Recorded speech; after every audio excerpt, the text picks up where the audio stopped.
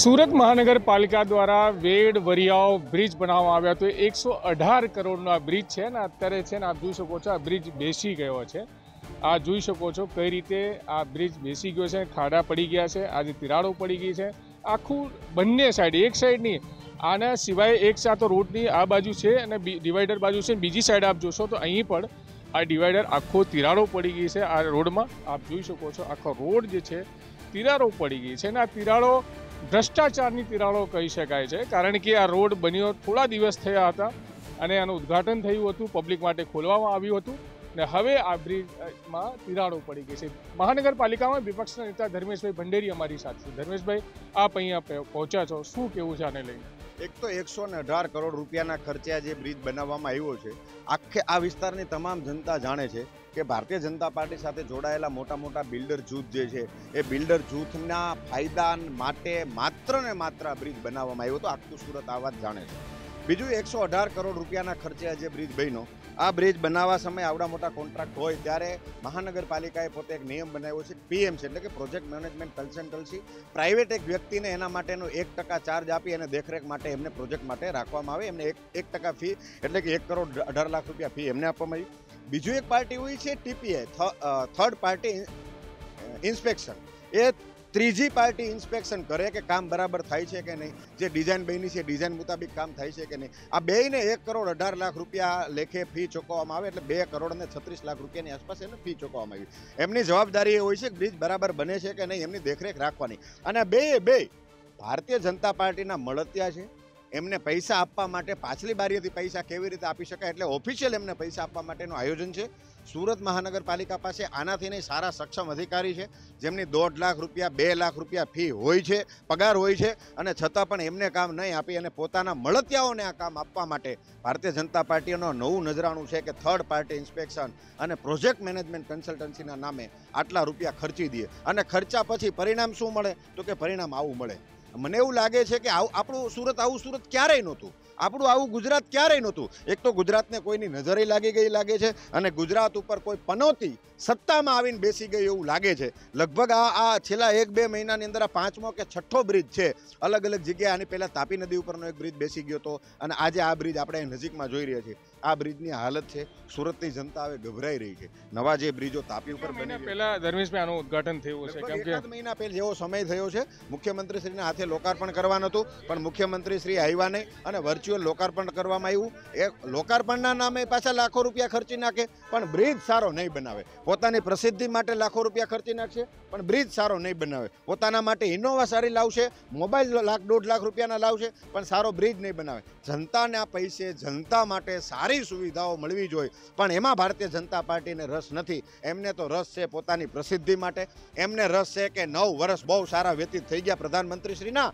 તો આપણે હવે એમની ઉજવણી કરીએ. ગલીએ ગલીએ જઈને કહેશે, હું ભારતીય જનતા પાર્ટીના આ વિસ્તારના ધારાસભ્ય એટલે કે મુકેશભાઈ પટેલને કહું છું. આ વિસ્તારના ધારાસભ્ય વિનુભાઈ મોરડિયાને કહું છું. આ વિસ્તારના કોર્પોરેટર રાજુભાઈને અને એની આખી આખી પેનલને કહું છું.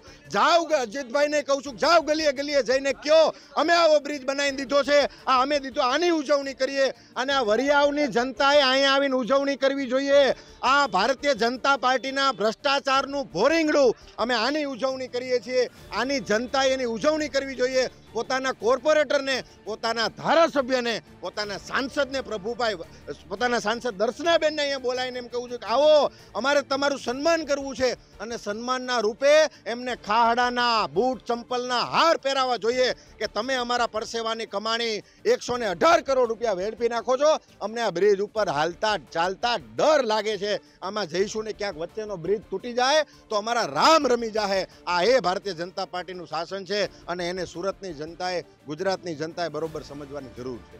બિલકુલ ધર્મેશભાઈ ભંડેરી સુરત મહાનગરપાલિકામાં વિપક્ષના નેતા છે. કેટલાક લોકો પણ અહીંયા ઊભા છે. આપ લોકો અહીંયા જ રહો છો ને? શું નામ છે આપનું? મારું નામ યોગેશભાઈ દિયોરા. યોગેશભાઈ આ બ્રિજ તો બેસી ગયો છે તિરાડો પડી ગઈ છે. શું કહેશો? હજી મહિના પહેલાં આનું ઓપનિંગ થયું છે પણ અત્યારે તો ઓલું કાર્પેટ ગોઠવું એ રીતના ગોઠવાઈ ગયો છે બ્રિજ એક બાજુ સાઈડમાં આપણે કેમ કાર્પેટ ઓફિસની સાઈડમાં હવે તો આ જોઈને તો ડર લાગે છે કે મારે રોજ અવર જવર કરવાની હોય આ બ્રિજ ઉપરથી. તો કેમ રોજ અવર જવર કરીએ?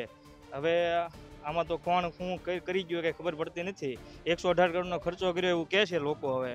આ એકસો અઢાર કરોડનું કંઈ લાગતું નહીં નગર તૂટે નહીં આવી રીતે એકસો અઢાર કરોડ વાપર્યા હોય તો. એટલે વાત સાચી છે કહી રહ્યા છે કે એકસો અઢાર કરોડ વપરાયો તો કદાચ આ બેસી નહીં જાય. શું નામ છે ધીરજભાઈ. તેજભાઈ, શું કેવું છે આ બ્રિજને હું જરા જ્યારે બનતો હતો ને પણ કહેતા હતા કે આ રીતે પુરાણી ચાલ પુરાણા જ કરવામાં આવ્યું છે. આમાં સીધો જ ભ્રષ્ટાચાર છે. કારણ કે નીચે આથી ડાયરેક્ટ દિવાલથી આ દિવાલ સુધીમાં નીચે ખાલી પુરાણ જ છે. મેં કહ્યું કે સાહેબ અમે અમે અહીંયા રહીએ છીએ અહીંયા પાણીનો નિકાલ થતો નથી. તો અહીંયા છે ને ડાયરેક્ટ પિલ્લર જ બનાવો. અમે તો એમ જ કહ્યું ત્યાંથી ઉતારીને અહીંયા ડાયરેક્ટ ઉતારો. પિલ્લરનું જ કહ્યું. છતાં બી નહીં માને એ ભાઈ તમારું કામ નથી એ અમારું કામ છે. સીધો જ એમનો કામ આ બ્રિજ બેસી ગયો. હવે આ એ લોકોનું કામ જુઓ એમ કે આ અમારું કામ છે એમ કે. સીધો અમને જવાબ આપે કે અમારું કામ છે આ.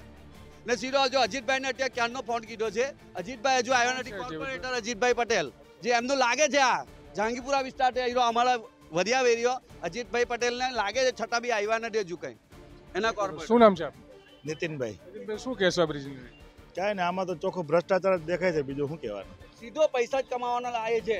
તો બિલકુલ. આ લોકો છે, જે સ્થાનિક રહેવાસી છે અહીંના, અને હું આપને બતાવી દઉં છું, આ બ્રિજ છે. હાલ તો આ બ્રિજ અહીંયા જે બેસી ગયો, એના કારણે એક સાઈડનો બ્રિજ બંધ કરી દેવામાં આવ્યો છે.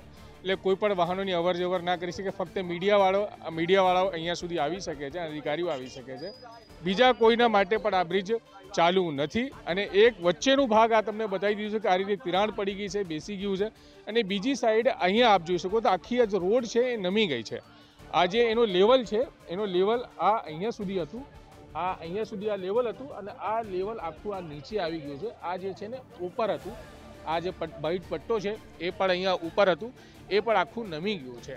તો આ તમામ તસવીરો સુરતના વેડ વરિયાઓ રોડની છે, જે બ્રિજ બનાવવામાં આવ્યો હતો થોડા દિવસ પહેલાં એકસો અઢાર કરોડમાં. આ રોડ બ્રિજ બનાવવામાં આવ્યું હતું અને આ જોઈ શકો છો આપ કઈ રીતનું આમાં મટીરિયલ યુઝ કરવામાં આવ્યું હશે. અને મટીરિયલ આખો અહીંયા બેસી ગયો છે. આ લાંબી તિરાડ પડી ગઈ છે. કોઈ નાની તિરાડ નથી અને આને બનાવવામાં ચોક્કસપણે ક્યાંય ક્યાંય ભ્રષ્ટાચાર થયો છે. કોઈને કોઈ પ્લાનિંગમાં ખોટ રહી છે. એના કારણે આ બ્રિજ બેસી ગયો છે. લાંબો એવો પટ્ટો આ બ્રિજ જે છે અહીંયા બેસી ગયો છે. આ ઉપર કેમેરામેનને કહી શકો જો આ અહીંથી જે જવાનું હોય તો ઈચ્છાપુર, છાપરાવાટા વરિયાઓ નેશનલ હાઈવે અડતાલીસ, ઓલપાડ, હજીરા બાજુ અહીંથી જવાતું હતું.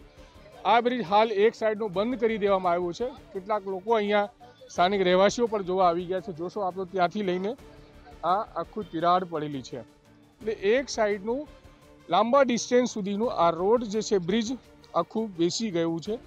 સ્પષ્ટપણે દેખાઈ રહ્યો છે.